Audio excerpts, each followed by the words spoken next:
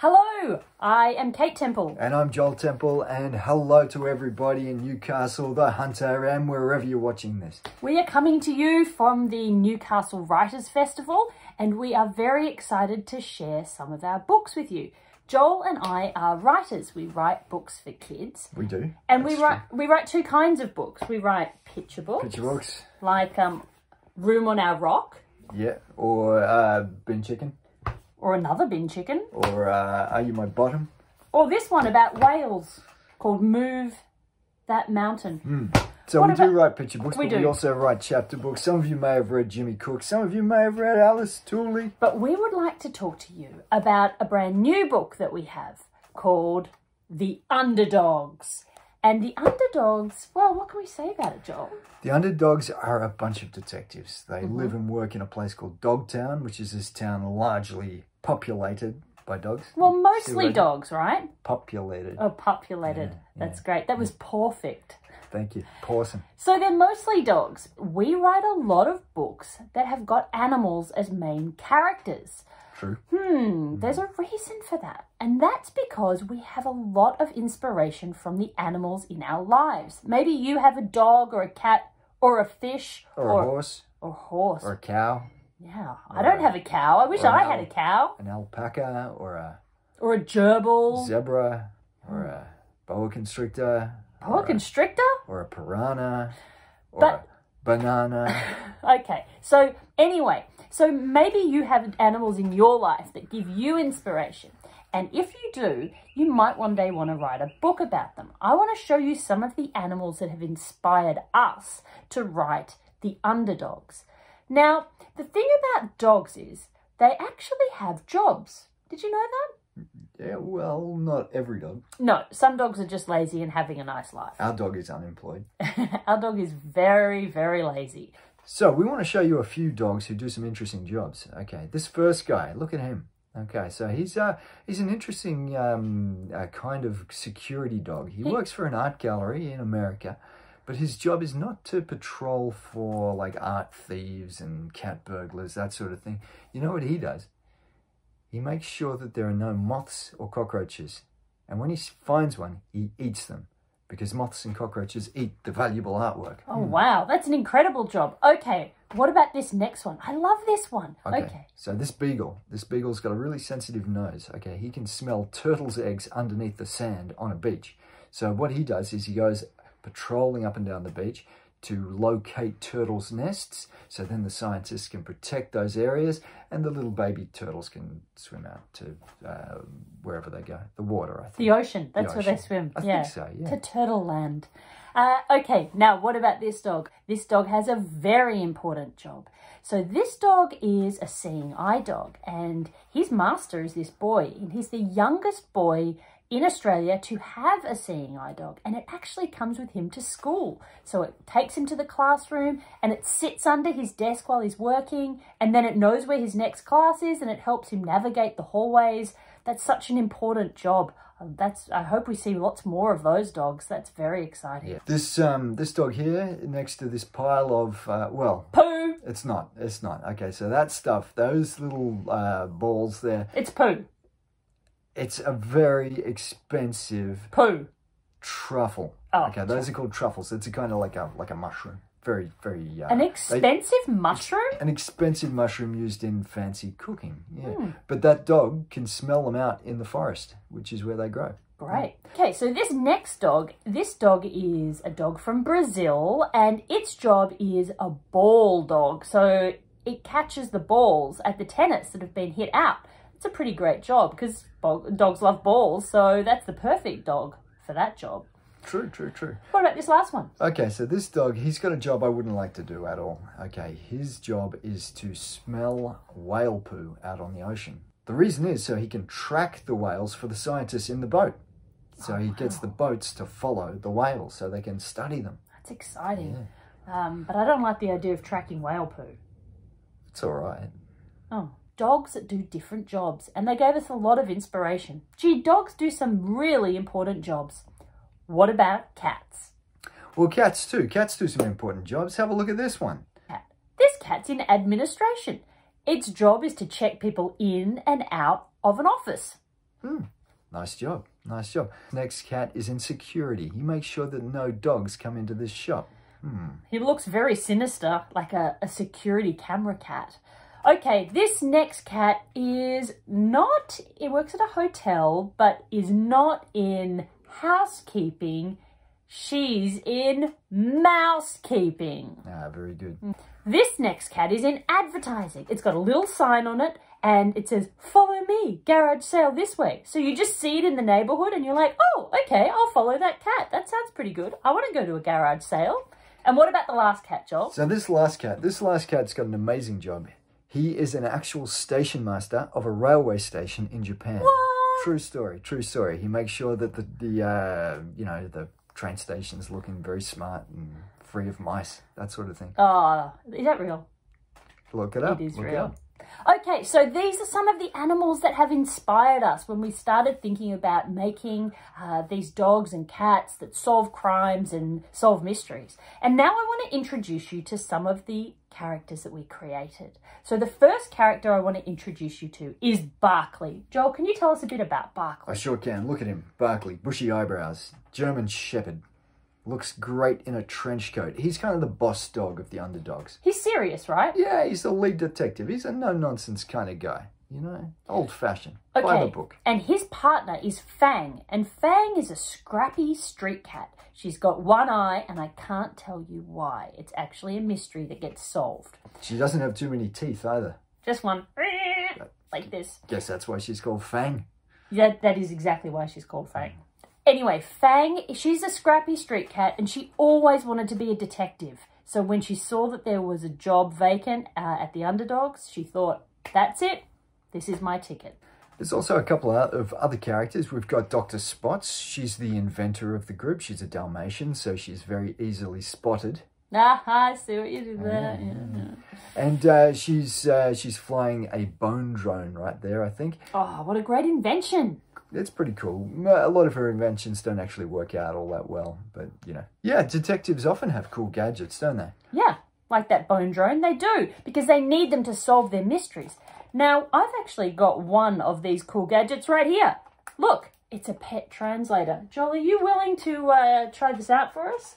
Look, it's not it's not 100% uh, tested or safe, Okay. but I'll give it a go. All right, I'm just adjusting it here. Now, Jol, oh yeah, it's working. Not well. Okay. So what happens? Tell tell the people what uh, what this device does. I'm going to ask you what your favorite animal is, uh, and when I put the setting on, it will translate your words exactly into fluent dog. Okay. Jol, Into dog. uh, yeah, Okay. into dog. Jol, what? It's on now. Just fixing that. What is your favorite animal and why? It's going through the air. In a minute, we're going to hear Jol speak fluent dog.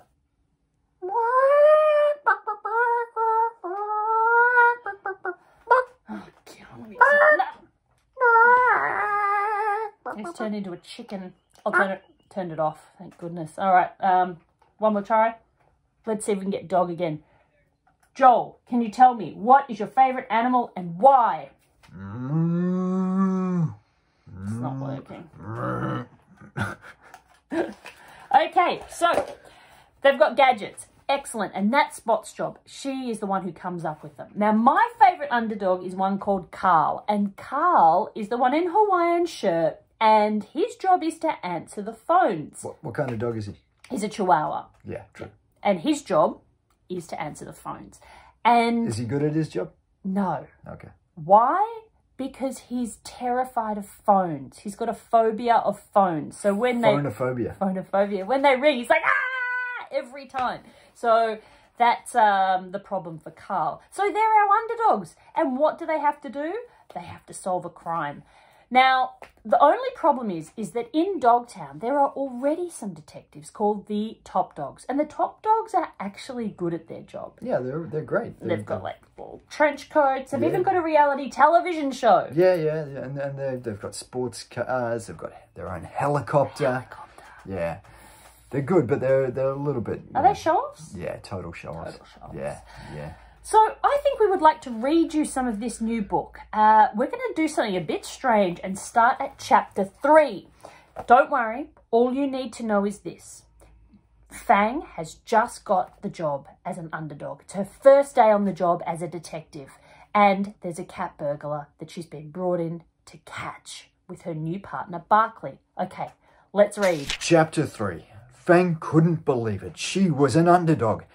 As she looked around the underdog detective agency, she could see there was another dog in the corner of the office. It wasn't hard to spot her because she was covered in spots. It wasn't chicken pox or even dog pox. She was a Dalmatian. This is Dr. Spots. She's got a gadget for everything. Dr. Spots, this is Fang, our new underdog detective, said Barkley. Oh, that's a brilliant cat costume. I almost thought you were a cat, laughed Dr. Spots. I am a cat, said Fang. What? Barkley looked at her. Fang is the only one who applied for the job, Spots. I'm sure she'll be all right once we show her the ropes. I love rope, said Fang. There's no rope, grumbled Barkley. It's just a saying. Oh, I knew that. This was not true. Fang didn't know the first thing about detective sayings or detective work. Dr. Spot shook her head. But, she said, no buts and no sniffing butts. We all have to work together. But you only get one shot, Fang. Help us catch the cat burglar, or you're out on your tail. The truth was, the underdogs were desperate. They hadn't solved a case in years. Well, that wasn't exactly true. They did solve the case of the missing sandwich. Carl ate it. The case of the stolen cupcake. Carl ate it. And the case of the disappearing sunglasses. They were on Carl's head. These days, all the big cases went to the top dog detectives. The top dogs were brother and sister Weimaraners who drove around town in their flashy sports car, solving cases left, right, and centre. We are the best, it's true. The more cases they solved, the more work they got, and the more flashy equipment they bought. They even had their own helicopter.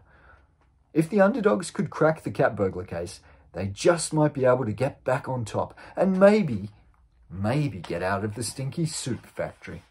Oh, we forgot to mention, the Underdogs Detective Agency is located just above a really, really stinky soup factory. What kind of soup do they make? Oh, like eel and tentacle and Ooh, turnip and squid. turnip and blue cheese. and- Gross. yeah, Brussels sprout and cabbage and Gross yeah, stuff. gross Back to the story. chicken heads. Oh, that's too gross. Follow me, said Dr. Spots. I've been working on something high-tech that will help us catch the cat burglar. Barkley and Fang followed Dr. Spots down to the car park. Fang purred in delight when she saw the shiny new Jeep parked down there. I've made a few modifications to the vehicle, explained Dr. Spots. Let me guess, said Fang. It's got a laser-powered turbo booster for maximum speed. Dr. Spots just looked at Fang. Not the Jeep, that's Mrs. McTavish's. The bike. She pointed to a rusty old bike with two seats. Fang tried not to look too disappointed. So, what's the cool gadget then? Has it got radar? Or maybe a sonic power beam? I've added a bicycle bell, said Dr. Spots proudly. A bell, said Fang. Oh, great. How can we catch the cat burglar with that? Fussy, are you? grumbled Dr. Spots. I've heard that about cats. As Fang and Barkley got on the bike, a text came in on Barkley's mobile phone. It was from Carl. The cat burglar's just stolen a crate of sardines. Head to the fish markets. Barkley and Fang rode fast towards the fish markets, dinging their bell. Ding, ding. They were there in no time. Fang followed Barkley over to a market stall where a large pelican was pacing back and forth. This wasn't any old pelican, mind you. It was Max Pelicano, the boss of the fish markets. What took you so long? squawked Max. And why'd you bring a cat here for? Don't you know they're trouble? Oh, this is my new partner, Fang, explained Barkley. Claw enforcement, said Fang, sticking out a paw. Max ignored it. One of her lot has just cleaned me clear out of sardines, every last one. It's that cat burglar, I tell you. I knew I should have called the top dog detectives. Forget about the top dogs, sir, said Barkley. The underdogs are on the case. Now, what makes you think it was the cat burglar? Max Pellicano rolled his eyes. Who else would steal a crate of the world's finest sardines? Oh, almost everyone likes sardines, said Fang. Not just cats. Bears, seals, ducks, even whales like sardines. Max looked at Barkley, who just shook his head. Was this cat born yesterday? I think I'd know if a whale walked into my fish market, spat Max Pellicano. Of course it was the cat burglar, said Barkley. Look, there are paw prints everywhere. They sure don't belong to a whale. Fang wasn't so sure. Okay, maybe it wasn't a whale, but there was something fishy about those paw prints. See, while cats love sardines, they sure don't love water. One thing was certain. Fang and Barkley needed more than a few wet splotches to solve this case. Luckily, Barkley knew exactly who to ask. Okay, so that is the end of chapter three. The underdogs catch a cat burglar. I wonder who did it. And I wonder if you thought about what it takes to be a detective. Has anyone ever wanted to be a detective? I know I'd like to be a detective. It's a good job, isn't it? You get a cool hat and a coat. Maybe you've got a magnifying glass. But there's all kinds of detectives. Barkley's sort of a classic detective, but maybe you've got your own ideas about what it takes to be a detective. Now, Jol and I have come up with a little bit of a formula to help you create some detective characters of your own. First thing you need is a detective talent. So have a think about a really good talent for a detective. Hmm, what would be useful? Have they got really good vision? Maybe they've got an incredible memory and they remember every single thing. That's a good one. Super kind of hearing so they can hear everything that's going on, every conversation. Or maybe they're a master of disguise. Mm, maybe they're like um they can climb like you know, do Ooh. parkour and stuff. Oh, like parkour. That would be That'd be really cool. good. Okay, once you've got your detective talent, you need one other thing. You need a weird talent. So, something really unusual that you wouldn't necessarily think of for a detective. Like maybe they make amazing cupcakes. That's their talent. That's interesting. Yeah. Okay, maybe they can become invisible. Maybe they can talk to animals. Maybe they have the ability to speak in many different languages. What other things could they have? Maybe they have a, like a, they can emit an odor like a skunk, like a really foul smelling odor, Or they could smell like cupcakes if they want to. or marshmallows, Mm, marshmallows. or really foul marshmallows. Okay, then once you've done that, you've got your detective talent and you've got your weird talent, you need a distinctive look. All detectives have some kind of outfit that makes them really distinctive. So for Carl, it's his Hawaiian shirts. For Fang, it's her one tooth and her one eye For Barkley, it's his bushy eyebrows. and his overcoat. So think about that. Could there be something? And it can be unusual too. Maybe it's colourful socks. They've always got colourful socks. Maybe they've got like an elephant's nose. Oh, yeah, it could definitely be that. Maybe they could be an animal. So maybe you'd like to think about that. And if that's something you want to do right now, you could write those things down. Detective talent, come up with one. Weird talent, come up with one. And a distinctive look. And then maybe you should draw your detective and it might end up in a story. That would be cool. Now that you've come up with this great detective character, they're going to need a name. Okay. Hmm. So, look, some of you might be great at coming up with names. That's cool. Just just go with it. Make up a name. But if you're stuck and you don't quite know what to call your detective, here's a little formula. First thing you need is a title. Like, what's a title? That's like a Mr., a Mrs., Doctor, uh, Lord, Princess. Professor, You're gonna Count. count. The Count. Ah, I love to count. Ah, ah, ah, ah. Now, Okay. Where can we get a really interesting first name from? Now, you might have noticed street names sometimes are pretty strange. So they're often names from a different era or a different time. So I want you to think about what your street name is, or maybe a street near you. And then that can be the first name of your detective. Abercrombie or Fitzgerald or Carruthers or Carrington. Okay, so you've got your title, then you've got your street name. Now, finally, you're going to need a last name. So this is going to be a car type. So have a think about either your car or a car that you know and put that together. And you might come up with something like Hmm, Professor Abercrombie Bugatti. Well, she sounds like an Italian detective.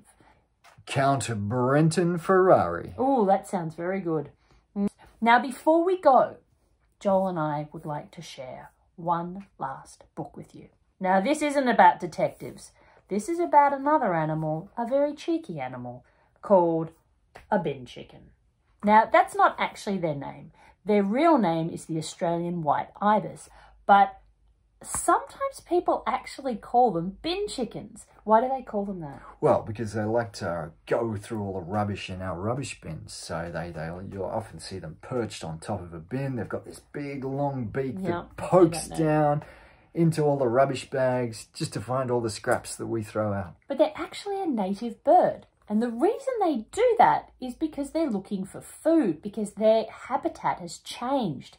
So Jol and I love this bird, and we love its funny personality, and we love that it's a native bird. So we've written two books actually about the bin chicken. I'd like to read you this new one called Winner, Winner, Bin Chicken Dinner.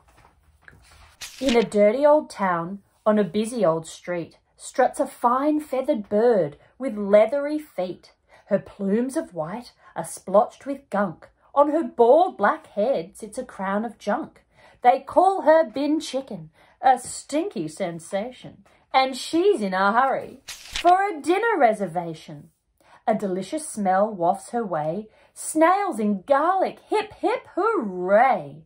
She pokes her head in a French restaurant, but Sparrow squawks, What do you want? I'm sorry, madame, I can't let you in. There's something on your head, and it looks like a tin. Ibis hopes for more luck down at the beach, where there's always fish and chips within reach. And there on the boardwalk, she spots dropped calamari. And look, someone has spilled a rice biryani. She honks with joy and is ready to go when five plucky seagulls appear and say, No, this beach is ours. Go back to the city. Grr. and they gobble up squid, all sandy and gritty. Aha, good old fish markets, that never fails. Maybe she'll snap up some smelly trout tails, prawn heads perhaps, or a tasty crab claw. But a big old pelican is blocking the door. Buzz off, bin chicken. You can't come in. And don't even think about raiding that bin. Poor Ibis sighs, she'll get no dinner here, so she flaps her wings and shuffles her rear. She glides over the city, circling wide, when, hello, what's that she spied? Winner, winner, bin chicken dinner. In a school playground by the old handball square sits a basket of lunch boxes with nobody there. Ibis lands on her long, spindly legs. In these lunch boxes, she smells mayo and eggs, chicken loaf Devon, a ham and cheese sanger, some sushi, rice crackers, a barbecued banger. As she jumps on the basket and begins poking around, the teacher on duty enters the ground. A clear off, bin chicken. That's not your food. Oh my, thinks Ibis. How terribly rude. Ring, ring! Uh oh. The bell starts to sound, and hundreds of kids storm the playground. Ibis flaps her wings and takes off with a zoom and perches in the window of the staff room. Looking in, she can't believe what she sees. Sausage rolls, party pies, a quiche made with peas. Lamington's cupcakes, a gluten-free slice, blueberry pikelets, and delicious fried rice. And there in the middle, a large strawberry cake with whipped cream icing, just ready to take. There's so much food, much more than I need. I'll call in my friends for this supersized feed. In fly the sparrows, seagulls, pelicans too. She's invited them all to this fancy do, Thanks. says Pelican with a beak full of chips. I'm really enjoying this assortment of dips. You know what, bin chicken? I think we were wrong. Dinner's much better when we all get along. Ibis just smiles and holds her head high and dives in to snap up the last party pie. That was Winner Winner Bin Chicken Dinner by me, Kate Temple, And me. Jol Temple. Yeah. thank you very much for uh, listening to our stories and thinking maybe about writing your own story, your own detective story. That'd be great. That'd be cool. I can't wait to read that one day. See you later. Bye, everyone.